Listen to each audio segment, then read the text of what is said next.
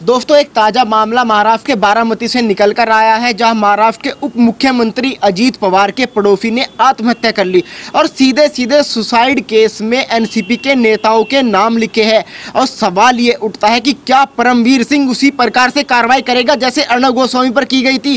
क्या उप मुख्यमंत्री पर वही कार्रवाई होगी? क्या उप मुख्यमंत्री को पकड़कर जेल में ले जाया जाएगा? इसी मुद्दे पर बात करेंगे। कैप्टन आई सिंह हमारे साथ मौजूद है। सर जैसा कि आज महाराष्ट्र के बारामती से नया मामला सामने आया है। जो एनसीपी नेता है अजीत पवार, उनके पड़ोसी ने आत्महत्या कर ली और जो सीधा सीधा आरोप लगाया है, उसमें एनसीपी के कई नेताओं के नाम है। और सवाल यह है कि क्या परमवीर सिंह कार्रवाई करेगा उन पर? बिल्कुल। मैं यही मांग करूँगा महाराष्ट्र सरकार से और बम्बई के जो पुलिस कमिश्नर है, परमवीर सिंह जी हैं, आपके बहुत, परमवीर सिंह जी के बहुत कार जो कारनामे बम्बई में बहुत हाई हो रहे हैं जो उन्होंने वो किसी को भी उठा के जेल में डाल देते।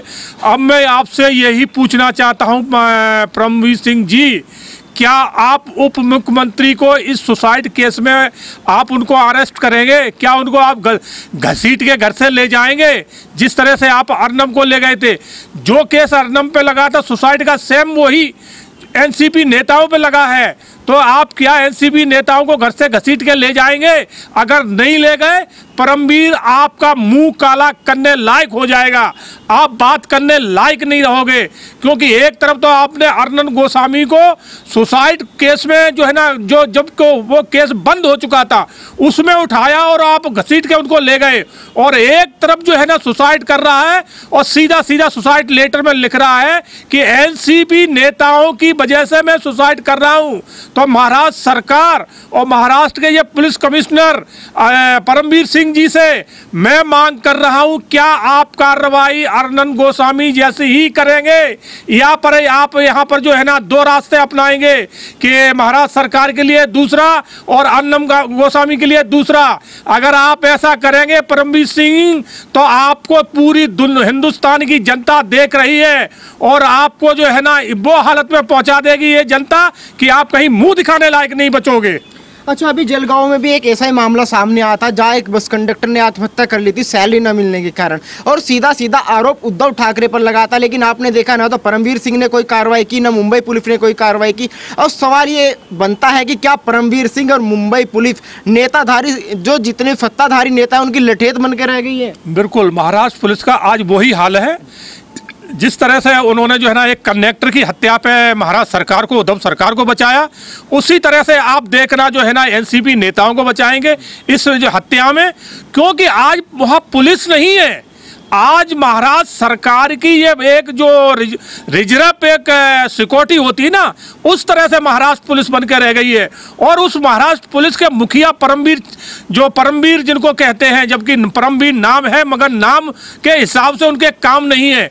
वो उस जो सिक्योरिटी गार्ड के जमानों एक लीडर बन के रह गए। जबकि कमिश्नर का बहुत बड़ा पद होता है। कमिश्नर जो चाहे वो कर सकता है, मगर कमिश्नर ने जो अपना परिचय दिया इतने बड़े पद पे बैठ के तो लानत है ऐसे कमिश्नर पे।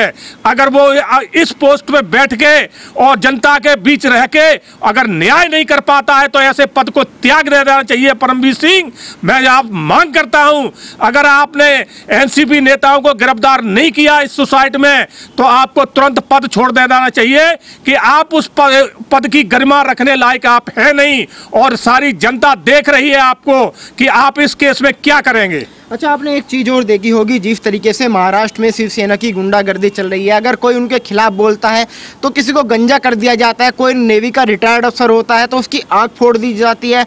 और सवाल ये भी बनता है कि परमवीर सिंह उद्धव ठाकरे से इतना डरता क्यों है? ये इसका बहुत बड़ा कारण है कि परमवीर सिंह उस टाइम के हैं जब प्रज्ञा ठाकुर को वहाँ माले ब्लास्ट धमाकों में आरोपी बनाया गया था, जबकि उनका कहीं से कहीं उसमें इन्वॉल्व उस केस में नहीं था। और उस टॉर्चर करने वाली टीम में उस टाइम भी परमवीर सिंह थे। तो परमवीर सिंह जो है ना, एक कांग्रेस के वफादार अधिकारी शुरू से रहे हैं। वो पुलिस के वफादार नहीं है, वो एक पार्टी के वफादार हैं। तो आज भी वहाँ महाराष्ट्र में सरकार कांग्रेस की है और वो पूरी वफादारी निभा रहे और उसी चीज़ का उनको इनाम मिला गया है, जो उनको बम्बई का कमिश्नर बनाया गया है। तो ये जो है ना, परमवीर जो महाराष्ट्र के पुलिस के कमिश्नर नहीं है, एक पार्टी के कमिश्नर बन के रह गए महाराष्ट्र सरकार के कमिश्नर बन के रह गए। तो ये बड़ा ही सोचने वाली बात है।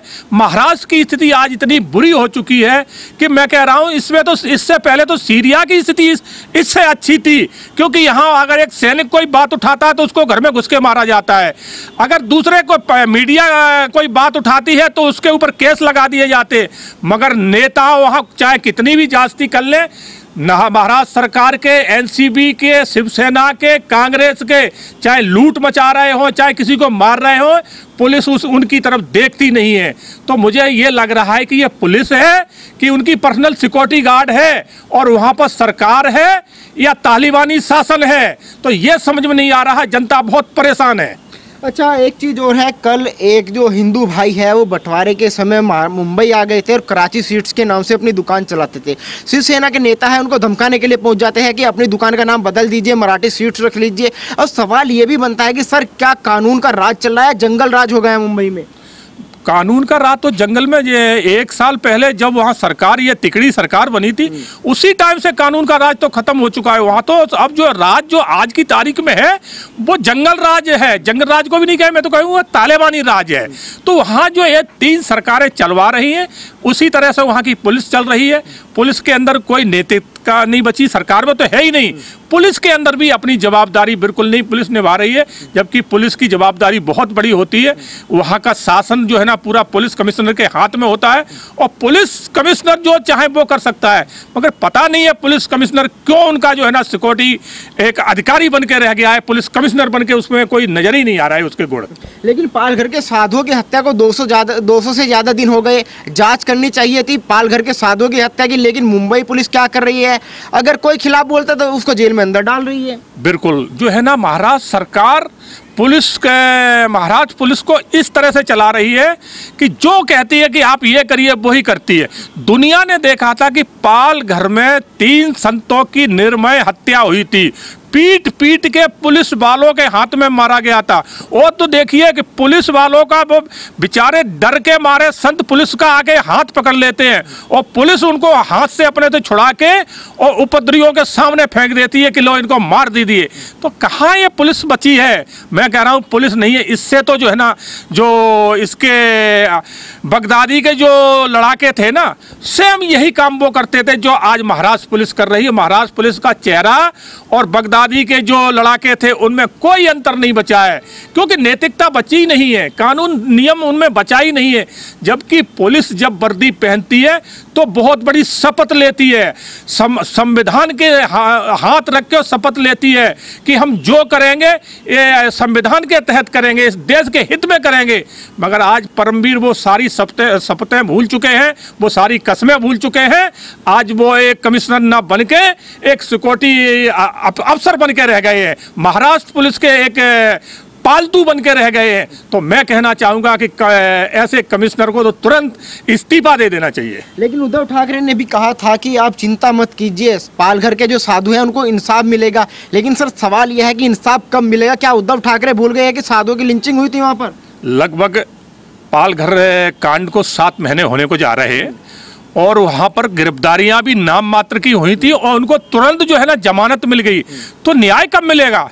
आप देखा होगा कि वहाँ एक बीजेपी के विधायक हैं राम कदम। उन्होंने इसको लेके आंदोलन शुरू किया तो उनको गिरफ़्तार कर लिया गया। तो ये सरकार कर क्या रही है? सरकार डर किस बात सरकार के अंदर मैं ये जानना चाहता हूँ, किस बात का डर है?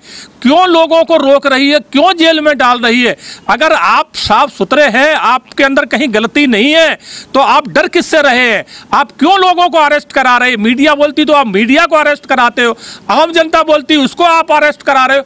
आप किस किस को बंद कराएँगे? मैं यही जानना चाहता हूँ, ज़्यादा अति रावण की भी नहीं चली है। महाराष्ट्र सरकार, और परमवीर से मैं बता दूँ आपको कि अति रावण की भी नहीं चली है, उसको भी लास्ट में धराशायी होके धूल में गिरना पड़ा था। वही स्थिति एक दिन महाराष्ट्र सरकार की और परमवीर की होने वाली है। कोई ये देश देख रहा है देश की 130 करोड़ जनता देख रही है। मुंबई के पुलिस असिस्टेंट कमिश्नर है उन्होंने अर्णव गोस्वामी को भी दस लाख का समन भेज दिया है कि उन्होंने पालघर मामले में सांप्रदायिक रिपोर्टिंग की है। आपको क्या लगता है क्या इस तरीके से रिपोर्टिंग को दिखाना पालघर के साधुओं के लिए न्याय की मांग उठाना सांप्रदायिक रिपोर्टिंग है? बिल्कुल ये है ये न्या, न्यायपालिका इस चीज़ को देख रही है। क्योंकि महाराष्ट्र सरकार और महाराष्ट्र पुलिस, इनके अंदर कोई नियम और कानून और संविधान कोई बचा ही नहीं है। तो पत्रकार को तो पूर्ण रूप से आज़ादी है, उनकी अभिव्यक्ति की आज़ादी है, वो जो चाहे रिपोर्ट दिखा सकते हैं। वो और खास करके अर्नम गोस्वामी जैसा पत्रकार, वो तो वही दिखाता है जो सत्य होता है। सत्य के अलावा वो कुछ दिखाए, दिखाता ही नहीं है। आपकी वो मीडिया नहीं है जो आप, आपके माफिक चलती है। मगर अर्नन गोस्वामी का आर भारत, रिपब्लिकन भारत वो सच्चा पत्रकार है, वो वही पत्रकार पत्रकारिता करता है जो वहाँ घटना घटी है। तो वो इनसे हजम नहीं हो रही है, क्योंकि ये सीधे सीधे उसमें घेरे में आ रहे हैं। कानून के घेरे में आ रहे हैं। इनके ऊपर सीधे सीधे तीन साधियों साधुओं का मर्डर का इल्ज़ाम इनके ऊपर आ रहा है। तो इसलिए जो है ना, ये इन्होंने ये बना के रखा है कि किसी तरह से अर्नन गोस्वामी को, आर भारत को चुप कराया जाए। इसलिए उन्हें कहीं जेल में डाल रहे हैं, कहीं उनके रिपोर्टरों को जेल में डाल रहे हैं, कहीं जो है ना अर्नन गोस्वामी को जेल में डाल रहे हैं, कहीं उन पर जो है ना जुर्माना भेज रहे हैं तो ये सब इनकी सोची सभी रणनीति है, मगर मैं जानता हूँ अर्नन गोस्वामी एक सच्चा पत्रकार है और निडर पत्रकार है, वो तुमसे डरेगा नहीं, तुम्हारी बखियाँ इसी तरह वो उधेरता रहेगा, क्योंकि वो राष्ट्रवादी पत्रकार है।